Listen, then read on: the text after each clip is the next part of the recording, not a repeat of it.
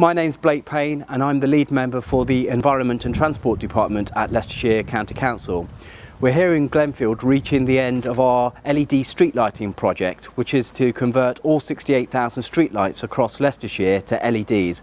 This has been a £25 million programme and it started back in 2016.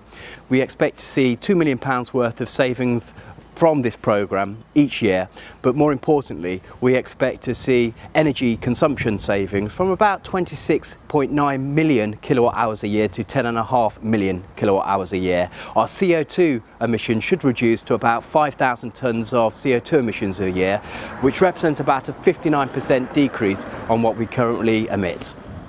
Big thanks to the whole of the Highway street lighting team for changing these lights. We're particularly pleased with the programme and we're sure it will benefit Leicestershire as we are committed to economic, sustainable and functional street lighting across Leicestershire.